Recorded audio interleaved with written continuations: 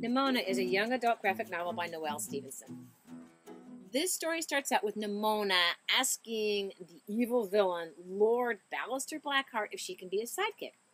And he doesn't want a little girl as his sidekick, but it turns out that Nimona isn't a little girl. She's actually a shapeshifter and can turn into all kinds of things, including sharks and other weird things.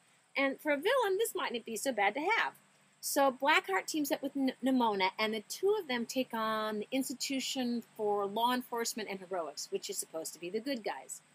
Now, sometimes things aren't always what they seem, and this goes for good guys and for bad guys. Uh, the drawings in here are awesome. Uh, Nimona is funny. Um, she's violent, and the dark humor in here is so good. I think one of my favorite parts is the relationship between Nimona and Blackheart. I just loved it. Uh, I did miss the humor towards the end of the book, but still, this is a really great graphic novel. Give it a try. If you read this book, please post a comment below on what you thought of the book.